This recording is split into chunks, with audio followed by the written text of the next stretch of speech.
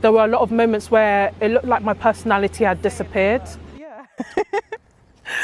I was hard to reach and I didn't communicate, but the overall change, they would say I've become the woman that I deserve to be.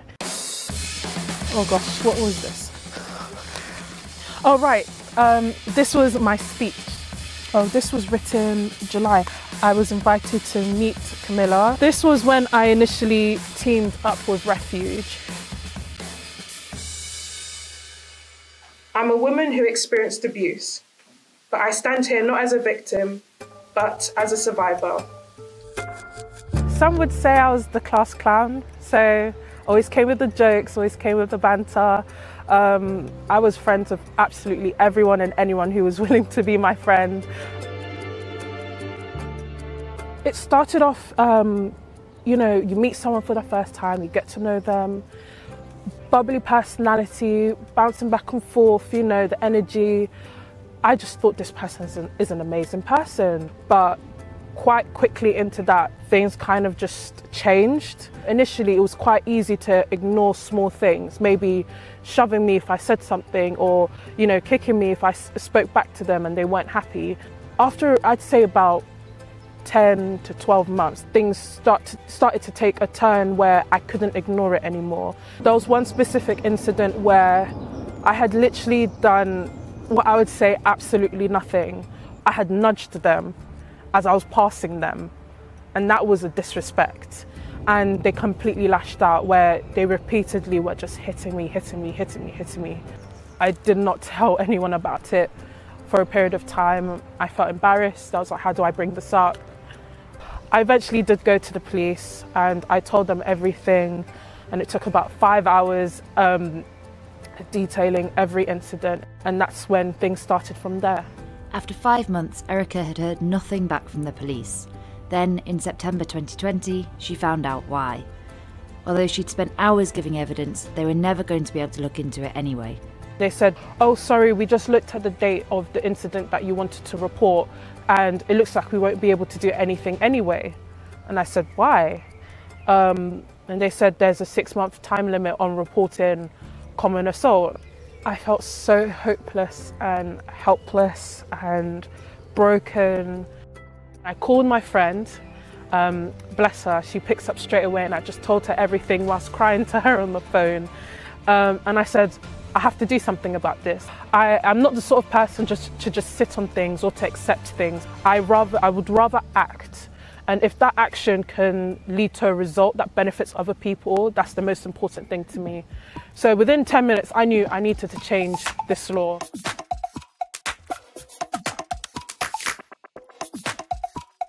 And I spent the next three, four days just sitting in my room. I, I don't I don't even think I left my house at this point. I don't think any domestic violence victim should be told after six months that they were too late. That's what this campaign is about. We fight for change. Erica had done a lot of the work already. She started the petition, she had set up a campaign, but she needed that help to, to get more attention on it and to to make sure politicians were aware of the problem and the need to act. So we were delighted when Erica got in touch with us to ask for our support. I, alongside Refuge, Women's Aid, and the Centre of Women's Justice, are urging the government to extend these time limits. What I wanted to do using Refuge's platform was to be the voice for the people who had shared their stories, or even if they hadn't, who knew they had gone through these things. And I said, Oh my gosh, I have this campaign let's work together. I've already got a lot of people behind me, you have a lot of people behind me. If we collide these two worlds, we'd be unstoppable. Let's talk to Erica Osakwe as a student, an organiser and survivor of domestic violence. It is about a perpetrator saying to a young woman like Erica, oh, good luck, nothing's going to happen. Erica Osakwe, who set up a campaign group for victims of violence. It made me feel hopeful. I think that's the first time I really felt hope and I had hope that something was really going to be done. And it was from there where all these doors opened up, Yvette Cooper stepping in, and the journey began. In particular, I want to raise new clause 69 in my name. The purpose of this amendment is to get justice for victims of domestic abuse who are being timed out. I drew up an amendment to the Police and Courts Bill to actually put forward that amendment in Parliament. There is a time limit on justice that most victims are not aware of, of six months from the offence, even though in domestic abuse cases it may take many months for good reason for victims to feel able to go to the police. I worked with Baroness Helen Newlove in the House of Lords. The time limit in its current form is putting victims in harm's way. She also did the same thing in the House of Lords to draw up an amendment to keep the pressure on the government, and we just kept the pressure up. An unfair six month time limit. There's a six month um, limit for charges being brought. A six month time limit. Until finally, I think we forced them to agree that this had to change.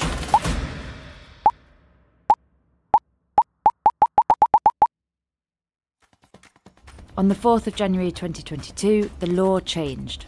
The time limit to report domestic abuse has extended from six months to two years.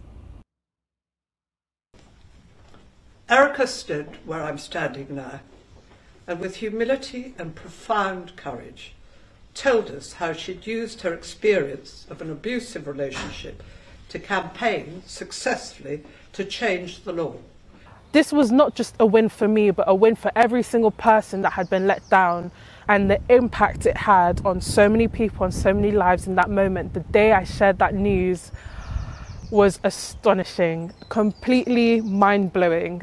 This law change will make a real difference. There will be thousands of survivors every year, most of them women, who, if they decide to, can report the assault that they've experienced at the hands of their perpetrator to the police and won't need to fear that the police are going to say, sorry, we can't do anything because of a very short six month time limit that doesn't reflect the realities of domestic abuse.